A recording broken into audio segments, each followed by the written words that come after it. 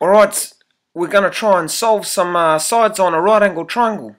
Alright, so that's the letter M. We're trying to solve for M, so we're going to use our ratios. So we've got to label our triangle with H. That's the longer side. O is the opposite side because it's opposite the angle. And remember in class, the teacher talks about these trig ratios, so toa. So let's write them down, eh? So there we are. We got the last one there, tan O over A. Alright, so we got to use O and H. Okay, that's it. We choose the correct one, sine. We put the angle in, which is 57. We put the O side, which is M on top. And the H side, which is 12, goes on the bottom.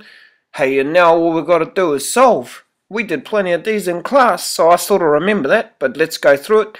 Uh, we've got to get rid of that divide by 12. So we put it on the other side, it becomes times. Remember, we times both sides by 12. It removes the 12. That leaves us with M.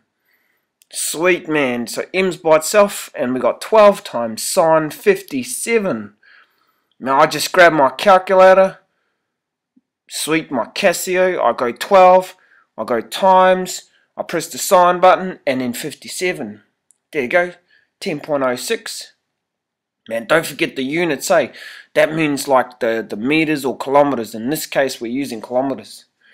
Alright, let's look at another example, eh? So remember, the first thing we do, we've got to label our triangle. The H side's the easiest, eh? There it is, it's opposite the right angle. Uh, the O side's the next easiest, and then the A side's left over. So we're using A and H. Man, let's look back at our trig ratios, because it's not easy to remember all that. There it is, in the middle. That's the cosine. Alright, so remember it's got to be the cosine of the angle so cos of 22 has to equal A. Now A goes on top, that's 13, and the H goes on bottom, so that X goes on the bottom. Now watch what I'm going to do here. See if you can pick it.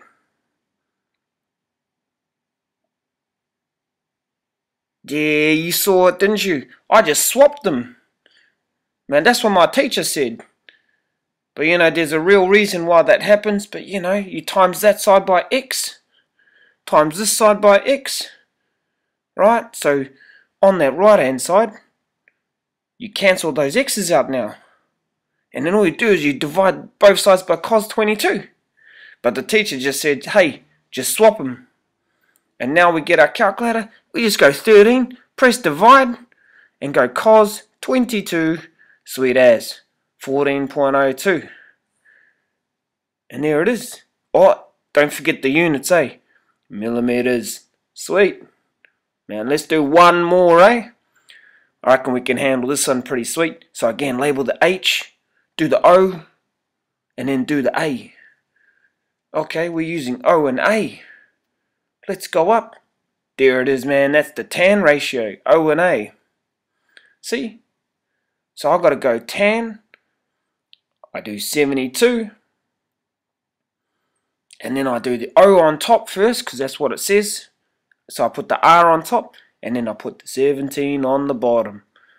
And this is like the other ones man. You just get rid of that divide by 17 by timesing by 17 so you go 17 times tan 72 I'll get my Casio 17 times tan 72 52.3 Man, that's easy as. Oh, don't forget the units.